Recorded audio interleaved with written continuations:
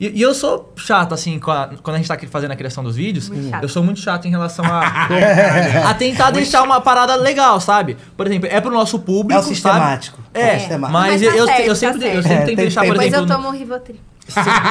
sempre não ter erro de corte, de continuidade. Às vezes tem uns propositais, por exemplo, eu já fiz ela trocar de calça. Não, troca de calça aqui na cena, porque vão comentar pra caralho. É. Do nada trocou de calça, tá ligado? A gente fazia muito isso. Tipo, deixar umas coisas de propósito, uns erros de propósito, pro pessoal comentar. Muito. E dava muito certo. Hoje em dia eu já faço menos. Mas antigamente eu fazia, tipo, absurdamente. É. Por exemplo, tem um vídeo. tem um vídeo que ela tá arrumando o pneu no. Tipo, é, arrumando um carro, né? E o namorado dela vai lá humilhar ela. E aí. Machista e tal. É, essa era a pauta. Aí uma- o namorado tá escosta, o que, que você tá fazendo aí? Não sei o que, tá, tá, tá arrumando pneu, tá.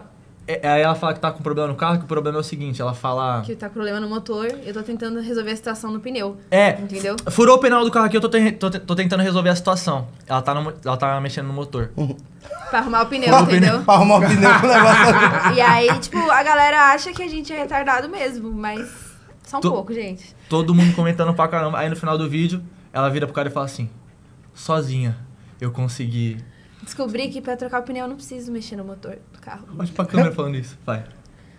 Sozinha hoje, eu descobri que eu não preciso mexer no pneu do carro pra arrumar. o- Como é que é? motor do carro pra arrumar o pneu. É lá, vamos de inovação.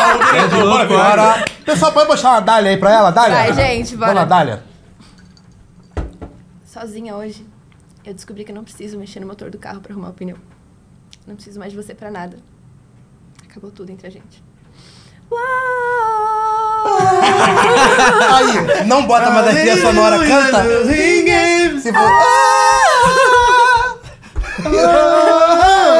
E aí foi um grande desafio pra gente, assim, fazer drama, entendeu? Porque na nossa vida a gente sempre é muito da comédia, a gente vive comédia, nossos amigos, então assim, a gente pegava ideias da nossa vida, de coisas que aconteceram de vida, É, de filmes que a gente assistia, a gente só consumia comédia.